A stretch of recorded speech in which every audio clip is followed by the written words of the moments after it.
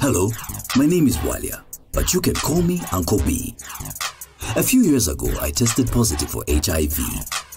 At first, I thought there was no hope, but the healthcare provider advised me on starting to take ARVs immediately.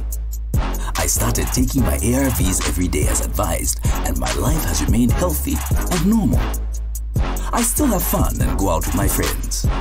As a result of taking my ARVs every day as advised, plus regular viral load checks, I now have an undetectable viral load. Undetectable equals untransmittable, or U equals U, which means the chances of passing on the virus to my wife are reduced. However, we continue using condoms because ARVs do not protect from other STIs. And remember, just because you have the virus doesn't mean your Chimwela for life is over. Take your ARVs, your viral load tests, and use condoms. The journey is still on. Let's be prepared. Let's be in control.